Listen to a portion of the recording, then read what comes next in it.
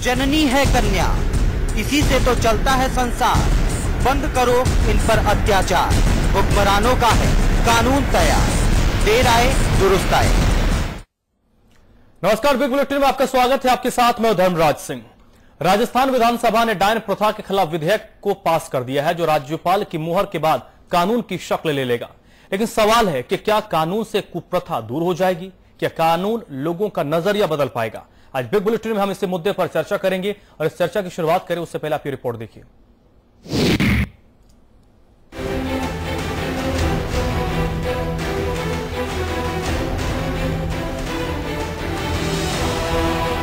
डायन का डंक अब नहीं चलने वाला, क्योंकि इस शब्द का इस्तेमाल करने वाले और इस शब्द के ज़रिए कहर बरपाने वालों पर कानून का डंडा चलेगा।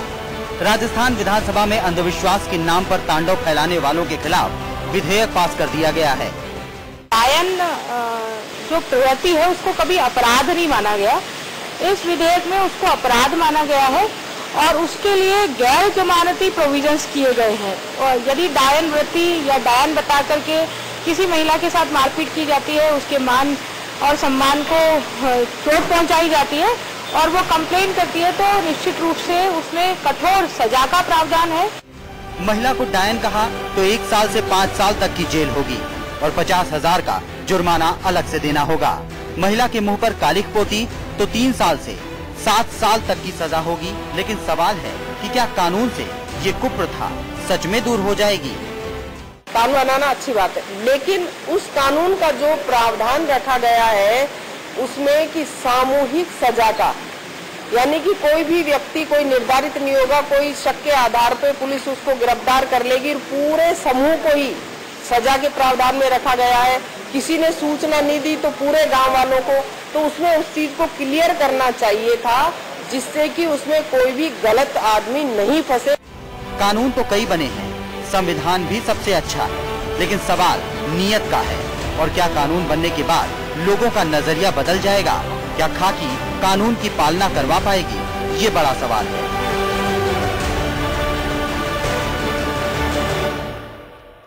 ब्यूरो रिपोर्ट के साथ ब्रजेश सिंह, समाचार प्लस। तो लंबे वक्त से इस कानून की मांग की जा रही थी। सरकार ने कानून बना भी दिया है, लेकिन कई सवाल विपक्ष की ओर से खड़े किए जा रहे हैं और समाज सेवी संगठन की ओर से भी कुछ सवाल खड़े किए जा रहे हैं कि आखिरकार वाकई क्या कानून से सब कुछ दुरुस्त हो जाएगा? इसी पर आज हम चर्चा करेंगे। सुमन शर्मा, भारतीय जनता पार्टी के नेता ज्योति खंडेलवाल, कांग्रेस पार्टी के नेता और मानचंद खंडेला साहब राजनीतिक विश्लेषक हैं। इस चर्चा मेरे साथ जुड़ रहे हैं आप तीनों का स्वागत है और मेरे साथ हमारे मैनेजिंग एडिटर अमिताभ अग्निहोत्री जी भी इस चर्चा में जुड़े हुए हैं। मेरा पहला सवाल आज ज्योति जी आपसे ही है। सख्त कानून की दरकार थी, उस पर पहल हो गई है, कानून बन गया है और हमेशा संशोधन की गुंजाइश तो होती है तो इसमें भी कुछ संशोधन हो सकते हैं, कुछ बदलाव की मांग आपकी भी करती है। लेकिन आप लोग खुश हैं कि सरकार ने कानून लेकर लेकर आई है? धर्मराज जी, मैं ये कहना चाहूँगी, निश्चित रूप से देखिए, ऐसी जो चीज़ें होती हैं जहाँ औरत को दाएँ शब्द के साथ उसके मान सम्मान को ठेस पहुँचाया जाए, उस पर इस बात को लेकर के अत्याचार किए जाए तो एक कानून ज़रूर बनना चाहिए। लेकिन धर्मराज जी, कानून को सिर्फ़ हम एक तरह से कहें कि केवल भाई भाई बटोरने के लिए न बनाए, ये बहुत ज़रूरी होता है। जब आप कानून बना रहे हैं, एक नया कानून लेकर के ही आ रहे हैं तो उसको बजाय जल्दबाजी के लाने के, अगर उस कानून पे पहले से जनप्रतिनिधियों की राय एनजीओ की राय जो समाज में इस प्रथा के खिलाफ लड़ रहे हैं, उनके साथ राय या जो खाप पंचायतें हैं, जो जो कहीं ना कहीं इन सब चीज़ों के लिए जिम्मेदार होती हैं, उनके, उनकी राय और इस सबके शामिल करके कुछ एक ऐसा कानून लाया जाए जो कि और साथ ही साथ उसको इम्प्लीमेंट करने की पूरी नियत और उसको इम्प्लीमेंट करने के तरीके के साथ अगर कोई कानून लाया जाए तो निश्चित रूप से उस कानून की इम्प्लीमेंटेशन से उस कानून का जो लाभ है वो उस व्यक्ति तक उस पीड़ित व्यक्ति तक ज़रूर पहुँच सकता है। जहाँ पर एक तरफ़ प्रधानमंत्री नरेंद्र मोदी जी नहीं, नहीं, मोदी जी कि पर हम नहीं जाएँगे। नहीं, नहीं, ज्योति जी, नहीं, नहीं, अरे, मोदी जी पर कहाँ जा रहे बिना इम्प्लीमेंट चलिए ये आपका कहना है कि शायद सरकार जल्दबाजी कर गई। सुमन शर्मा जी सरकार वाकई जल्दबाजी कर गई क्या? और कुछ चीज़ों को लेकर लोगों के जहन में सवाल खड़े जो शकुंतला रावत को हम सुन रहे थे उन्होंने कुछ चीज़ों पर सवाल खड़े किए। शायद सोचना चाहिए था पहले थोड़ा सा उस पर। देखिए धर्मराज जी और अमिताभ जी, मुझे याद है कि हम लोग पंद्रह दिन, इससे ज़्यादा दिन नहीं हुए होंगे, जब भीलवाड़ा में एक डायन महिला को प्रताड़ित किया गया था और आपके चैनल पे हम तीन अलग अलग विचारधारा की महिला नेत्री लोग बैठे थे और उस दिन अमिताभ जी इस प्रथा से बहुत व्यथित भी थे और मैं आपको अमिताभ जी ये यकीन दिला के गई थी कि विधानसभा के इसी सत्र में ये बिल पारित होगा ये नियम बनेगा ये धर्मराज ने थोड़ा गड़बड़ कर दिया मैं चाहता था सबसे पहले मैं ही बात की शुरुआत करूँ। जी मुझे यही लग रहा था कि थोड़ा सा लेकिन मैं अपनी बात कहूँगा आप निश्चिंत रहिए। चलिए हाँ बोलिए। तो मैं मैं अब ज्योति जी कह रही हैं कि थोड़ी जल्दी हो गई धर्मदास जी ने भी यही कहा लेकिन मैं ये कहना चाहूँगी कि महिलाओं के विषय में जितनी जल्दी हो उतना स्वागत योग है। इसमें बहुत बड़ा विषय नहीं था कि जिसमें लोग बता ही रहे थे, ये आज का विषय थोड़ी है। ये पिछले पाँच साल भी चलता रहा कि कानून बने कानून बने। विधानसभा में कई बार आया। इस बार भी आया। तो मैं तो कहती हूँ कि इतनी देरी भी क्यों हुई? इसमें देरी की आवश्यकता नहीं। अब कहेंगे, जैसे शकुंतला रावत को मैं सुन रही थी, जो विधायक हैं, कांग्रेस की और महिला कांग्रेस की अध्यक्ष भी हैं। अब उन्होंने देखिए क्या कई बार होता है ना अपने गाँव में एक कहावत चलता है कि चावल बना तो पीला क्यों नहीं बना साहब? अब उसमें थोड़ा केसर डाल देते तो ये वो वाली बात होगी कानून तो बना साहब तो सामूहिक लोगों के लिए कुछ नहीं है। अरे सामूहिक लोग ही तो गाँव में इस खेल को बिगाड़ते हैं जो पूरा गाँव मिलके एक महिला को प्रताड़ित करता है और पूरा गाँव उस महिला के अगेंस्ट खड़ा हो जाता है कि ये डायन है ये बदमाश है इसको ऐसे कीजिए वैसे कीजिए उसको धन से बेदखल करता है उसकी संपत्ति से बेदखल करता है। तो सामूहिक होना तो अति अनिवार्य है कि लोग डरेंगे तो सही एक। खंडेला जी कानून बनना ज़रूरी था कानून बन गया। लेकिन जो बात कही जा रही है विपक्ष की ओर से संशोधन की गुंजाइश तो हमेशा सोती है। कहीं लगेगा कि दिक्कत तो उसमें बदलाव कर दिया जाएगा। आप इस को कैस कानून को किस रूप से देख रहे हैं? देखिए मैं इसका स्वागत करता हूँ स्वागत करता हूँ स्वागत करता हूँ। और जिस तरह की बातें की जा रही है ना वो पूरी तरह से जो है वांछनीय बिल्कुल नहीं है। अगर आप संशोधन की बात करें मैं कह रहा कानून बन गया। और सुमन जी ने बिल्कुल सही बात कही। सारे गाँव को पता होता है कि किसको क्यों किस तरह से पीड़ित किया जा रहा है। उसको डाकन क्यों बनाया जा रहा है, उसको डायन क्यों बनाया जा रहा है, उसके पीछे कोई छद्म जो उद्देश्य होते हैं। और उसे पूरे गाँव को प्रताड़ित किया जाना चाहिए। मैं एक दो बातें और कहना चाह रहा हूँ। देखिए, इसमें, इस कानून में मैं जहाँ तक समझता हूँ, सबसे महत्वपूर्ण जो है ना कि बात रह गई है कि डाकी को सजा क्यों नहीं। डाकी बनाने वाले को सजा क्यों नहीं। यानी वास्तव में अब कम से कम जो है, डायन और डाकी डाकी जो है वो अपने आप में जो आदमी है अब वो महिला है उसको भी सजा पूरी तरह से उसके भी लिए कोई ना कोई व्यवस्था होनी चाहिए। दूसरी बात मैं ये कहना चाह रहा हूँ कि जिस तरह के सजा के प्रावधान किए गए कम से कम इस कानून के लिए तो सरकार को दहेज प्रथा के तरह बाल विवाह की तरह बाल मजदूरी की तरह ये लथार्जिक व्यवस्था नहीं अपनानी चाहिए। अगर इसको आप जो है पूरी तरह से लागू करेंगे तो मैं समझता हूँ कि सामाजिक जो बदलाव है या जो कुरुतियाँ हैं उनको दूर करने में हमको बहुत सुविधा रहेगी। और तीसरी बात मैं कहना चाह रहा हूँ बीजेपी के सामने सबसे बड़ी समस्या यह आएगी कि धार्मिक स्थलों पर धर्म के नाम पर धर्म का आडंबर करके जो प्रताड़ना डाकियों डाकड़ों को दी जा रही है भूत और भूतनियों को निकालने के लिए दी जा रही है उनके बारे में चुनौतियाँ से साहब चुनौतियाँ बहुत है उस पर नहीं सुमन जमा आगे बात करेंगे। चुनौतियाँ कई सारी उस पर आगे बात करेंगे। अमिताभ जी को मैं चर्चा में लाऊँगा। अमिताभ जी जो बातें हो रही है मैंने सुनी। क्या कहिएगा इस सुनी। सबसे पहले तो जब हमने इस पर चर्चा की थी, उस दिन एक प्रसंग आया था, बड़ा दुखद। तो सुमन शर्मा जी हमारे साथ थी। तो मैंने उनसे कहा था कि कम से कम कानून तो लाइए, बाद की बात बाद में देखी जाएगी। ये वादा करके गई थी। इन्होंने ये भी कहा था कि मैं मंत्री से बात करके आई हूँ, जो संबद्ध विभाग की मंत्री हैं। उन्होंने कहा है कि सत्र में इसको पारित कराएँगे। सच बताओ उस दिन मुझे बहुत भरोसा नहीं था। मैंने कहा था, नेता लोग हैं। कोई नेता ये कहता कि नहीं लाएँगे? वो कहते, लाएँगे। अड़सठ साल से गरीबी हटी रही है, आज तक किसी प्रधानमंत्री ने बोला कि गरीबी नहीं हटाएँगे। सभी ये कहते हटाएँगे, लेकिन हटी नहीं, वो अलग बात है। लेकिन मुझे प्रसन्नता हुई, आज जब मैं ये विषय तय कर रहा था तो मेरे सामने एक और विषय था। मैंने कहा इस पर बोलूँगा। ये पारदर्शिता होनी चाहिए। सार्वजनिक मंचों पर अगर वचनबद्धता हो तो उसका अनुपालन होना चाहिए। इससे लोकतंत्र में लोगों की आस्था बढ़ती है। ये मेरा मंच नहीं है। ये किसी के खिलाफ और पक्ष में नहीं ये आवाम का मंच है। आप आवाम के सामने कोई वादा करें तो वो फिर पूरा होना चाहिए। जनता को जनार्दन कहा गया। अब इस कानून पर। ज्योति जी ने कुछ अप्रीहेंशन बताए। और शकुंतला रावत शकुंतला रावत शकुंतला रावत ने कुछ अप्रीहेंशन जताए। मैं उनकी विवेचना में नहीं जाना चाहता, लेकिन ज्योति जी, मैं आपसे एक दरखास्त करूँगा। जब बीमारी क्रोनिक हो जाए ना तो होम्योपैथी से काम नहीं चलेगा। ना। तब तो 500 सौ की गोली देनी पड़ेगी। मरीज़ ठीक होने लगे, हालात सुधरने लगे तो डोज कम कर देंगे।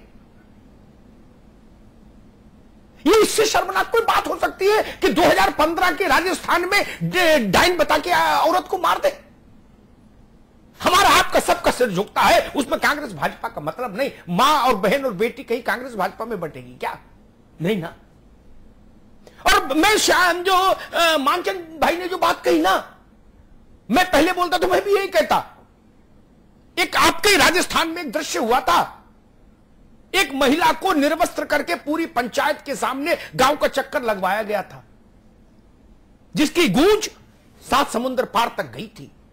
तब मैंने कहा था पूरे गाँव को जेल जाना चाहिए। पूरे गाँव को जेल जाना चाहिए। वो आँखें भी उस अपराध में शामिल है जिन्होंने देखा। देखा। खड़े होकर वहाँ। तमाशा बना दिया औरत को। सामूहिक जेल होनी चाहिए। ये घुंगू बहनों का समाज है क्या? किसी ने पुलिस को इतला नहीं की? पुलिस के, को लानत मलानत मैंने की थी, लेकिन मैंने गाँव को भी लानत मलानत की थी। वहाँ एक आदमी नहीं मिला हमको, जो पुलिस को सूचना देता। इसलिए इस तरह के कानूनों में थोड़ी ज़्यादा सख्ती की ज़रूरत है। ये तो एक उदाहरण किचन से दूँगा, रसोई से। आप और सुमन जी उससे सहमत होंगी। टमाटर काटना हो या मक्खन ब्रेड पे लगाना हो तो मुथरा चाकू भी काम आता है। मुथरा ही लिया जाता है केक काटने के लिए, जो जन्मदिन पे नहीं बच्चे केक काटते इससे। वो तो मुथरा ही होता है, नहीं तो हाथ कट जाए। लेकिन जब कटहल काटना हो तो मुथरे चाकू से काम चलेगा क्या? नहीं ना? तेज चाकू चाहिए, तेज चाकू चाहिए। जब सत्य प्रथा के खिलाफ कानून बना था, तब भी ये रार हुई थी। मुझे याद है। भैरव सिंह के खिलाफ लोग खड़े हो गए थे। बोले, ये ठाकुर नहीं है। तब भी बवाल मचा था। दहेज का कानून आया, तब भी हिंदुस्तान में बवाल मचा। ठीक है, बाद में उसमें विसंगतियाँ आई। सुप्रीम कोर्ट ने उसमें कहा कि सुधार करिए, और सुधार हुए। कोई अंतिम सील तो बंद नहीं हो गई ना? अदालतें हैं, विधानसभा खुद में है, संशोधन कभी भी हो सकता है। लेकिन एक बड़ी शुरुआत होनी चाहिए महिलाओं के पक्ष में। मैं इस प्रस्ताव इस कानून से प्रसन्न हूँ। इसीलिए मैंने इसको नाम दिया देर से आए। दुरुस्त तो आए लेकिन मैं और आपने कहा कि सब स्टेक होल्डर से बात करनी चाहिए। ये बात सिद्धांत रूप में ठीक है लेकिन ज्योति जी ए, आप मेरी मित्र हैं मैं एक बात बताऊँ गहलोत साहब की सरकार में इस पर ड्राफ्ट बन चुका था। ये कोई नया प्रयास नहीं है। यानी सरकार के अधिकारियों के पास विचार विमर्श की एक श्रृंखला मौजूद थी फ़ाइल में। तमाम स्टेक होल्डर से बात करके। तो तब भी तो कानून आ जाता, वो तो पास नहीं हो पाया, अलग बात है। नहीं ला पाए विधानसभा में आप। लेकिन कानून का ड्राफ्ट तो तैयार किया था ना। और ये प्रथा आज की ही क्या? सैकड़ों साल का पाप है, सैकड़ों साल का पाप। इसमें क्या समझना? कोई कोण कोई एंगल ऐसा है क्या जो ये कह दे नहीं नहीं थोड़ा सॉफ्ट हो जाए डाइन प्रथा पर? नहीं ना। मैं फिर कहता हूँ आरा मशीन चाहिए ऐसे काम करने वालों से निपटने के लिए। मक्खन वाले चाकू से कानून काम नहीं चलेगा। ना? नहीं चलेगा। महिलाओं के प्रति अपराध को लेकर जो आदमी डर रहा है ना आज के समय में पुरुष उसमें कानूनों की बड़ी भूमिका है। कानून होगा, तब ना सजा मिलेगी। कानून ही नहीं होगा तो सजा कैसे मिलेगी आदमी को? फिर उसके बाद यह सवाल हर कानून पर लागू है, इस पर भी लागू है। इससे मैं सहमत हूँ कि भाई, ये जो मशीनरी है, पुलिस है, और जो तंत्र है, वो अच्छे से लागू कराए। ये हर कानून के लिए दुनिया भर में एक ही सिद्धांत है। तो आज पहले दिन मुझे लगता है, हमको ये उम्मीद करनी चाहिए कि पूरा राजस्थान इसमें एक मत होके इस कानून की मजबूती के लिए खड़ा हो, चाहे भाजपा हो, चाहे कांग्रेस हो, चाहे गैर दलीय लोग हो समाज सेवी संगठन हो, महिला अधिकारों के लिए लड़ने वाले संगठन हो, सब लोग इस कानून के अनुपालन पर काम करें। मानचंद जी जैसे लोग निगरानी का काम करें कि भाई इस कानून का ठीक अनुपालन हो रहा कि नहीं हो रहा? ज्योति खंडेलवाल जैसे लोग सुमन शर्मा जैसे लोग इसके अनुपालन का निगरानी करें। और राजस्थान की हर महिला और महिला के प्रति सम्मान रखने वाले हर पुरुष को इसकी निगरानी करनी चाहिए कि यह कानून अक्षरशः ज़मीन पर लागू हो। ज्योति खंडेलवाल जी जिस चीज़ को अमिताभ जी ने कहा मैं उसी को आगे बढ़ा देता हूँ। जब एक कानून बना तो राजनीतिक दल से ऊपर उठकर आप पहले उसका स्वागत कीजिए फिर क्या खामियाँ है नहीं खामियाँ है उस पर आगे, आगे बात कीजिए। आप राजनीति से ऊपर उठकर क्यों नहीं इसका स्वागत कर रही हैं? दल की तो बात ही नहीं है। वही वही वही। जी आपने आपने अगर मेरा वक्तव्य उस इस समय भी सुना होगा मैं तो खुद अमिताभ जी की बात कि हाँ ये कानून आया है ये बहुत अच्छी बात है। मेरी लाइन यहीं से शुरू हुई थी कोई कोई भी महिला मैंने यही कहा था कि कोई डायन या डाकी कह करके अगर किसी महिला के मान सम्मान को अगर ठेस पहुँचाने की कार्रवाई की जाती तो उसके खिलाफ निश्चित रूप से कानून बन के तैयार होना चाहिए। मैं अमिताभ जी की बात से कतई असहमत नहीं हूँ, उनकी बात से पूरी तरीके से सहमत हूँ। सिर्फ़ जो हमने यहाँ पर जो बात उठाई मैंने जो बात उठाई वो इम्प्लीमेंटेशन को लेकर के बात अमिताभ जी भी इस बात को मानेंगे कि इसलिए उठानी पड़ती है कि दहेज प्रथा को लेकर के बहुत आज बाल विवाह की बात ले लें हम। राजस्थान के हम यूँ कहें कि माथे पर ये एक बहुत कलंक की तरह है कि आज के जमाने में भी बाल विवाह जैसी चीज़ें हो और हमें पता है कि आखा तीज जैसे त्योहार पर ये चीज़ें होती हैं और उसका कानून है और फिर हम उसको नहीं रोक पाते। तो उसके इम्प्लीमेंटेशन को लेकर के जब क्वेश्चन मार्क्स खड़े होते हैं तो जब हम एक कानून बनता है तो निश्चित रूप से इन चीज़ों को लेकर के भी एक मैं यूँ कहूँगी कि एक पूरी एक जो होमवर्क या होना चाहिए वो भी इसमें हो कि किस तरीके से। क्योंकि अमिताभ जी आप ही नहीं समय समय पर ये बातें भी आप ही के इस मंच के माध्यम से भी उठाई है कि एक महिला जाकर के पुलिस थाने में जाकर के महिला पुलिस वहाँ पर उसको नहीं मिलती और अपनी बात को अगर वो कहना चाहे तो वो नहीं कह पाती उसकी रिपोर्ट नहीं दर्ज हो पाती। तो यहाँ पर यही इसी कानून के इम्प्लीमेंटेशन की बात मैंने ज्योति जी उठाई ज्योति जी आपने अमिताभ जी के ठीक है मैं मैं आपकी कि समझ गया। हमको 500 एमजी की ना, ना। उसमें दवा देनी पड़ेगी एलोपैथी इलाज देना पड़ेगा। लेकिन जड़ से मिटाने के लिए हम बता रहे हैं ना। की इलाज को। आप दरकिनार हम बता रहे हैं ना, हम बता रहे हैं हमारा भी उद्देश्य यहाँ पर यही है कि ये समस्या जड़ से खत्म हो और निश्चित रूप से हमारा सहयोग इसमें ज़रूर रहेगा। कोई महिला नहीं चाहेगी अरे हम बता तो रहे हैं। आपके एप्रीहेंशन का जवाब सरकार देगी नहीं देगी कितना दे पाएगी कितनी योग्यता दिखाएगी वो जाने। लेकिन जितनी मेरी बुद्धि भर की क्षमता है मैं तो बता ही दूँ। इस तरह के मामलों में क्या होता है? अस्पताल में दवा नहीं उपलब्ध है, ठीक? तब आप प्रभावशाली हो, गरीब हो, मरना ही नियति है, क्योंकि जब दवा है ही नहीं तो आप दो चार को पटक के मारो भी, वहाँ एमएस को घेर भी लो तो क्या मिलेगा जब दवा है ही नहीं? यानी दवा मैंडेटरी है, तब आगे कोई बात बढ़ेगी। वैसे मैं कहता हूँ, कानून पहली सीढ़ी है, उसके बिना सारी बात बेईमानी एक, ये apprehension in Indian penal code की हर धारा के साथ लगा है कि इंप्लीमेंटेशन मशीनरी कोई धारा ऐसी नहीं फिर वो बात छनते छनते अगर ज़ीरो इन करे तो व्यक्ति की नैतिकता पर आके खड़ी हो जाएगी ठीक है ना तीसरी बात, इस तरह के मामलों में जब हम जैसे किसी की शादी में गए हम्म? ज्योति जी मानचंद जी सुनिए देखिएगा कि ठीक बात कह रहा है कि गलत। किसी की शादी में गए तो लड़का लड़की के मंच पे गए फूल गुलदस्ता दिया रुपया जो न्योता देना दिया और भाई शुभकामना दी भाई फलो फूलो खूब प्रसन्न रहो ईश्वर कृपा करे तरक्की करो। उस वक्त ये तो नहीं कहते भाई देखिए शादी के तो स्वागत करता हूँ लेकिन तलाक की संभावना भी रहती है कई केस मैंने देखे तलाक हो जाए। अच्छा फिर बताइए संतान होगी कि नहीं होगी? इसकी प्रामाणिकता की पुष्टि कैसे होगी? ये तो नहीं कहते ना उस दिन।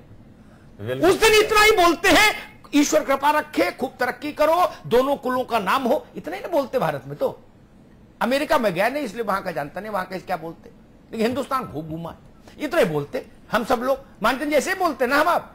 नहीं सर मैं एक उस दिन ये कहा तो पूछते है- कि इसका प्रमाण लाओ बच्चे होंगे कि नहीं होंगे? सास से झगड़ा करेगी कि तो नहीं करेगी? अमेरिका में तो ये है कि शादी के रजिस्ट्रेशन के साथ में जो है वो डाइवर्स का कूपन भी साथ में मिलता है। तो ये नहीं ये आज कानून नहीं था ये शर्मिंदगी की बात थी राजस्थान बिल्कुल ठीक बात है आज सरकार ने वो शर्मिंदगी तो माथे से हटाई कम से कम फिर बाकी लड़ाई हम और आप कहीं जा रहे हैं क्या ज्योति जी? हम सुमन शर्मा जी को फिर कर मखड़ा करेंगे। नहीं अग्निहोत्री जी एक बात मैं यहाँ कहना चाह रहा हूँ। अगर कानून है जी। अगर कानून है तो हमारे जैसे और आप जैसे आदमी आगे जाकर ये कह सकते हैं यहाँ पे अनाचार हो रहा है अत्याचार हो रहा है ये उत्पीड़न हो रहा है। कानून ही नहीं है तो हम क्या करेंगे? और आप जैसे ज्योति जी ने जो बात कही मैं ये कहना चाह रहा हूँ हम आगे तो आए कम से कम। हम दिल्ली तो दिखाएँ कि हाँ वास्तव में ये गलत काम हो रहा है हम इसकी शिकायत कर रहे हैं। हम शिकायत करें शिकायत करवाएँ शिक्षित करें लोगों को जो है बहसे मुक्त करें कानून को जरा पालना करवाने के लिए जो पालना करने वाले हैं, उनको हम जरा कसें। तब जाके वास्तव में ये बात बनती है कि हाँ हम महिला का वास्तव में सम्मान करते हैं और वास्तव में जो ये कानून है, ये अगर एक देखिए, मैं दूसरी बात कह रहा हूँ, अगर ये कानून लागू होता है तो महिलाओं के उत्पीड़न की बहुत सारी संभावनाएँ समाप्त हो जाती हैं। अच्छा ये दो बात मैं एक बात और कह दूँ ज्योति जी को समझाने के लिए आज उनका मन भी शांत होना चाहिए उनके तर्क उनको चीज़ें समझ आनी चाहिए क्योंकि हमारे लिए सुमन जी ज्योति जी का मतलब राजस्थान की माता शक्ति। इस वक्त आज के विषय पर। पार्टी मेरे लिए सामने फ्रेम में नहीं। मैं मैं कहता हूँ साइबर क्राइम का एक्ट कानून जब नहीं था ना ज्योति जी तो हम एसएसपी से कहते थे भाई इस बच्ची को देखो लोग पतंग कर रहे हैं। वो कहता है ज्योति जी क्या करे? कहो तो प्राइवेटली मैं धमका दूँ। दो सिपाही भेज के, अब कानून तो है नहीं, मैं किसमें बंद कर दू? क्राइम का एक कानून बन गया तो गिरफ्तारियाँ होने लगी। उससे पहले मेरे कहने पर भी गिरफ्तारी नहीं होती थी। वो कहते थे, किस धारा में बुक करूँ? इसने मैसेज भेजा है। किस, कैसे बंद कर दूँ? ठीक है ना? इसलिए कानून बहुत ज़रूरी है। और निश्चिंत रहिए, जनमत प्रचंड होना चाहिए, जनता जागृत रहनी चाहिए, कानून का इंप्लीमेंट हो जाएगा। और तीसरी बात आपने कही, आखा तीज की, सती प्रथा की दहेज हत्या की ईव टीजिंग की इस सारे एक साथ रख लीजिए। जब सख्त कानून नहीं थे देश में उस वक्त इनकी संख्या कितनी थी और आज कितनी है ये देखेंगे तो हमको इन कानूनों का महत्व तो पता लग जाएगा। और बिल्कुल अपराध मुक्त राज्य ना तो चाणक्य ने बताया हमको चंद्रगुप्त का ना अकबर के समय था ना अशोका के समय था और तुलसी बाबा को भी मैंने पढ़ा, वाल्मीकि जी को भी पढ़ा, रामायण में भी नहीं था। अपराध मुक्त समाज नहीं हो सकता। ऐसी संरचना ही नहीं, कभी बनी कहीं उदाहरण ही नहीं पूरे सृष्टि पे है। लेकिन, जब तुलसी ने कहा कि दैहिक, दैविक, भौतिक, तापा रामराज ने काहू, व्यापा, उसी रामराज में वो ले गए रावण सीता को। लेकिन राजदंड होना चाहिए उसकी व्यवस्था हुई इसलिए प्रसन्नता है। समझो कुछ कह रही थी? जी आ, मैं अमिताभ जी ये कहना चाह रही थी कि आपने अभी ज्योति जी के सारे सवालों का जवाब देते हुए कहा था कि विपक्ष जाने विपक्ष कितना जवाब देता है दे पाता है या नहीं देता है तो आपने मेरे पे प्रश्न चिन्ह लगाया। मैं। लड़ाई के मूड में नहीं हूँ। आज मैं बहुत प्रसन्न मुद्दा में हूँ। जवाब दे नहीं दे। जी जी जी। हाँ, मैं मैं दे सकती हूँ लेकिन मैं आज मैं दे सकती हूँ। लेकिन धन्यवाद आपको कि आपने जवाब दिया और एक मानव का जो स्वभाव हुआ वो सामने दिख गया है पार्टियों से ऊपर उठ के। आज मैं कोई कहते हैं ना कि बात प्रतिवाद करने नहीं आई हूँ। एक बात और कहना चाहती हूँ अमिताभ जी आज मैं कि भारतीय जनता पार्टी जो कहती है सो करती है इस बात पे मुझे भी आज बहुत गर्व है और हमने करके दिखाया। दूसरा जो मैं कह रही हूँ कि इस कानून पे हम लोग चर्चा कर रहे थे तो आपने देखा आप कई लोग हम लोग पे आरोप लगाते हैं कि ये धार्मिक आस्था पे प्रहार नहीं करते हैं धार्मिक चीज़ों को समर्थन देते हैं, मानचंद जी बैठे हुए ये भी कहेंगे। लेकिन आपने देखा, हम लोग तांत्रिक तक अपना हाथ बढ़ाए हैं। इस कानून में ओझा, तांत्रिक, इस तरह के जो मंदिरों में बैठ के नाटक रचाते हैं ना, मस्जिदों में और मंदिरों में और पता नहीं कहाँ कहाँ बैठ के तांत्रिक बनते हैं और कि हम डायन को ठीक करेंगे। डायन के डॉक्टर बनते हैं। उनके खिलाफ भी हमने कानून बनाया तो हमने बक्सा नहीं है किसी को। कोशिश ये की गई है कि वो सारे लोग इस घेरे में आ जाए और सुधार तो प्रकृति का नियम है। परफेक्ट कोई हो नहीं सकता आप खुद ही कह रहे थे। उस बहस को मैं याद करना चाहूँगी जिस बहस में हम लोग तीनों थे। आपने इसमें बहुत जोरदार बात कही थी। हम लोग को भी उस समय शंका था कि पता नहीं कानून कितना बाँध पाएगा। तो आपकी वकालत मुझे बहुत अच्छी लगी थी कि कानून से डर तो बनेगा और आज संख्या जितने कानून बने हैं हंड्रेड परसेंट इम्प्लीमेंट नहीं होते हैं। लेकिन एक डेढ़ से संख्या कम होती है। ये शुरुआत हुई है। इसको वक्त हमारे पास कम एक सवाल मैं ऐड कर देता हूँ। आपने तांत्रिकों का ज़िक्र किया। राजस्थान में भी मैंने पढ़ा है सुना भी है कि कई ऐसे मंदिर हैं जहाँ पर तांत्रिक जमा होते क्या जी, जी, मैंने- कल, वही कल के बाद या आज से वहाँ पर संख्या घट जाएगी? देखिए मुझे लगता है कि भय भी न हो न प्रीत डर से तो- बहुत कुछ होता है। संख्या कम होगी नहीं होगी तो कम कर दी जाएगी। खंडेला साहब यकीन है जो बात सुमन जी कह रही है? देखिए मैं मैं कह रहा हूँ कि यकीन। होना ही पड़ेगा क्योंकि जनता बहुत जागरूक है मैं हमेशा यही कहता हूँ जनता जागरूक हो गई है सूचनापूर्ण हो गई है बेबाक हो गई है दबंग हो गई है। और अभी जो सुमन जी कह रही थी ना हम इसको इंप्लीमेंट करेंगे। मैं उनके लिए वास्तव में लेकर भी आया हूँ कि एक है, अमिताभ जी एक व्यक्ति कह रहा है कि दुनिया के 59 जो रोग हैं एच आई वी एड्स से लेकर जुकाम तक वो मैं केवल पाँच मिनट में ठीक कर दूँगा। और मैं ये इसलिए कहना चाह रहा हूँ कि मैं जैनी हूँ और वो भी जैनी है। और ऐसे पाखंडियों को पकड़ने का कोई व्यवस्था इस कानून में है? अगर होगी तो मैं समझता हूँ कि मैं आगे इसके लिए अप्रोच करूँगा।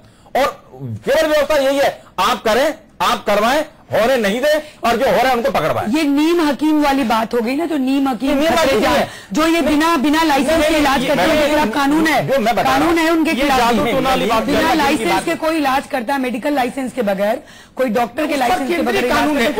उस पर एक कानून है। कानून है। उस पर भारत भर के लिए कानून है कि और उसमें कानून में ये तक एक सेकंड मानसन जी उसमें यहाँ तक है। कि इलाज पर कोई दावा नहीं कर सकता। शर्तिया इलाज जैसा विज्ञापन कोई नहीं दे सकता। चाहे डिग्रीधारी हो चाहे बिना डिग्रीधारी। मेरे पास मेरे पास में है विज्ञापन मैंने सुमन जी को दिखाया। है ना सुमन जी ये कानून ये कानून पहले से मौजूद है। ज्योति जी संक्षेप में जवाब दीजिएगा। जि, जिस चीज़ पर हम लोग आखिरी सेकंड में बात कर रहे थे आपको यकीन है कि जो इस तरीके से दुकान चल रही है उस पर डर से कुछ चीज़ें बंद हो जाएँगी कानून के डर से? हम तो ज़रूर यकीन करना चाहेंगे और निश्चित रूप से ये उम्मीद करेंगे कि इस कानून के माध्यम से जो हमारा उद्देश्य है इस कानून का महिला के मान सम्मान को बचाना ऐसे तांत्रिक जो कि ऐसे काम करने को अंजाम तक पहुंचाते हैं उसको खत्म करना रोकना उनकी संख्या में कमी आना उस भावना के अनुरूप निश्चित रूप से काम होना चाहिए और हमें यही यही सब बिल्कुल हमें आशावादी होनी कानून चाहिए। के माध्यम हमें आशावादी होना चाहिए कि चीज़ें दुरुस्त हों बेहतर हों। वक्त हमारा खत्म हो गया बता दी संपादक टिप्पणी। देखिए ताजराते हिंद में व्यवस्था हुई कि भाई, कत्ल करोगे तो 302 लगेगी। ठीक? कत्ल नहीं रुक गया। लेकिन कई लाख लोग 302 के जुर्म में जेल में हैं और कई लाख जेल काट चुके पंडित जी के समय से लेकर आज तक, मोदी जी की सरकार तक। लाखों, लाख करोड़ों लोग जेल काट चुके, गुजर गए, प्राणांत हो गया, बहुतों को फांसी भी हो गई। अगर यह कानून भी नहीं होता तो फिर तो हत्या करना उतना ही सहज होता जितना बाज़ार से आलू लाना ब्रेड लाना बगल की दुकान से। बोले, आज मन कर रहा है एक मर्डर कर दूँ। बोले, चल यार, हम, मैं भी, मेरा भी मन कर रहा है, दोनों मिलके कर देते एक एक फिर तो फन हो जाता। फिर तो हत्या वैसी सरल हो जाती, जैसे मोबाइल पर मैसेज भेजना। बोले, यार, आज मन कर रहा है, वो पड़ोस वाला है ना, उसकी शक्ल अच्छी नहीं लगती। बोले, यार, निपटाई देते हो रहा है अपराध। लेकिन दंड की व्यवस्था है ना। मुझे बताइए। और दहेज हत्या जैसे कानून ने भारत के समाज को जितना बदला है, उतना बहुत कम कानूनों ने बदला है। उसके दुरुपयोग के किस्से बाद में आए। अति सर्वत्र वर्जते, ये तो हमारे यहाँ शास्त्र कह गए। लेकिन उसने बदला। मैंने अच्छे अच्छे तुर्नम खां के परिवारों को खौफ खाते देखा। ज्योति जी, मैंने ऐसे ऐसे परिवारों को देखा जिनके यहाँ महिला को लाठी डंडे से पीटने की शाश्वत परंपरा थी, अखंड परंपरा। उनके हाथ पाँव कांपते देखे मैंने। बोले, भैया, सिर्फ़ बचाओ, सिर्फ़ फ़ोन कर दिया। वो उसने थाने में, सौ नंबर पे। जमानत नहीं हुई। कानून इतना सख्त है, जमानत नहीं होती। अब बाप भी जेल में, माँ भी जेल में, नंद भी जेल में, पति भी जेल में। चलो, करो ड्रामा। इसलिए कानून ज़रूरी है। जब समाज अपनी ज़िम्मेदारी समझने से चूकने लगे तो डंडा चाहिए। ये मैं नहीं कह रहा, ये चाणक्य कह गए। और जिस दिन समाज इतना सभ्य हो जाए कि नारी पर कोई अत्याचार नहीं करे तो नारी से संबंधित सारे कानून डिसॉल्व कर दे उस समय की संसद। क्या दिक्कत है? लेकिन हम पुरुषों को शर्म तो आनी चाहिए। मुझे तो दोहरी शर्म आती है। एक तो दुख होता है शर्म आती है कि मेरी माँ है, नारी उसके ऊपर ऐसा अत्याचार, और दूसरा जो करने वाला है, अगर वो पुरुष है तो ये शर्म डबल हो जाती है कि मेरी ही प्रजाति का आदमी है। ये भाव रखिए, अच्छे की अपेक्षा रखिए, मंगलाचरण में अच्छी ही बात हो। जब सोहर गाने का समय होता है, तब शोक गीत नहीं। और कानून नहीं चल, नहीं लागू हो रहा होगा। पुलिस कप्तान, एसओ, दरोगा, सिपाही लागू नहीं करेंगे तो उनको गिरेवा पकड़ेंगे न हम। कौन रोक लेगा हमको? क्या कोई सरकार रोक सकती है हमको? मानचंद जी को? ज्योति खंडेलवाल को? नहीं। सुमन शर्मा को? नहीं। सरकारें अपना काम करेंगी, हम लोग अपना काम करेंगे समाज में। लेकिन हमारे हाथ में एक अस्त्र तो हो। हम जाके पुलिस के अधिकारी की गर्दन पकड़े कि भाई इसको क्या क्यों नहीं बुक किया? तो वो ये नहीं कहे कि अग्निहोत्री जी, कानूनी नहीं, क्या मैं कहाँ बुक कर दूँ? मैं तो कानून से बंधा हूँ। इसलिए इस कानून का स्वागत होना चाहिए। पूरी महिला की सम्मान की पूरी जो एक श्रृंखला है कानूनों की, उसी में एक ज़रूरी कानून था। और ये बहुप्रतीक्षित कानून था। बहुत पहले आ जाना चाहिए था। जहाँ जहाँ ऐसी समस्याएँ हैं, और ये समस्या तो सबको पता थी। ये कोई सीक्रेट तो थी नहीं। और राजनेताओं को तो हमसे भी ज़्यादा पता थी। चुनाव के समय तो गाँव जाते हैं, वैसे ना भी जाए तो। देखते ही है कैसा, क्या किस्सा चल रहा है। हाँ दूसरी बात आई, ये तांत्रिक ओझा, फकीर, मौलवी, मौलाना, पंडित, ये जो लोग बवाल कर रहे हैं, इनके लिए कानून है। इनका भी अनुपालन होना चाहिए। लेकिन कानून को सशक्त बनाने के लिए हमको अपनी भूमिका भी निभानी चाहिए। थोड़ा हम भी चलें दो कदम आगे। हम मजबूर तो करें पुलिस को, और फिर पुलिस नहीं माने कानून को, उसका अनुपालन नहीं करे तो मीडिया है, धरना है, सत्याग्रह है, अनशन है, हम बैठेंगे। विधानसभा के बाहर बैठेंगे। हम और वानचंद जी जाके क्या दिक्कत है? जनता के लिए? लेकिन इतना इतना तो करें हम।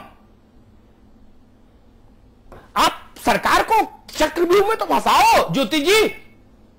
एक ऐसा केस आइडेंटिफाई करो, ज्वलंत बिल्कुल साफ़ जो दिखता हो कानून का उल्लंघन का। उस पर ज़ोर दीजिए। सरकार का इकबाल कसौटी पर खड़ा हो जाएगा तुरंत। पता लग जाएगा कानून के पक्ष में है या नहीं है। तो कम से कम जनता तो जानेगी चेहरा। इसलिए मैं कहता हूँ, हम लोग जागृत रहेंगे तो फिर हमारी माँ बहन बेटी को कोई डाइन नहीं कह पाएगा। आज कानून बना है कल उस पर राज्यपाल की मोहर लगेगी परसों वो अ, प्रदेश में लागू हो जाएगा। उसके बाद अमिताभ बच्चन साहब कहते हैं ना अपने शो में आपका समय शुरू होता है अब। तो विधानसभा का और गवर्नर हाउस का समय हो गया पूरा। अब राजस्थान के आवाम का समय शुरू होगा जिसमें हमारी ज्योति खंडेलवाल सुमन शर्मा मानचंद जी सबकी ज़िम्मेदारी बराबर है। मुख्यमंत्री की ज़िम्मेदारी तब लगाएँगे जब प्रशासन काम नहीं करेगा, अन्यथा सरकार ने जो विधायी काम करना था वो कर दिया। अब हम लोग देखेंगे कि महिलाओं का सम्मान सुरक्षित रहे। बहुत बहुत धन्यवाद। तो चलिए, आज के इस चर्चा में बस इतना ही। बहुत बहुत शुक्रिया सुमन जी, चर्चा में जुड़ने के लिए। ज्योति जी, आपका भी बहुत बहुत शुक्रिया। मानचंद खंडेला साहब, बहुत बहुत शुक्रिया आपका। अमिताभ जी, आपका भी बहुत बहुत शुक्रिया चर्चा में जुड़ने के लिए। तो फ़िलहाल बिग बुलेटिन में अभी बस इतना ही।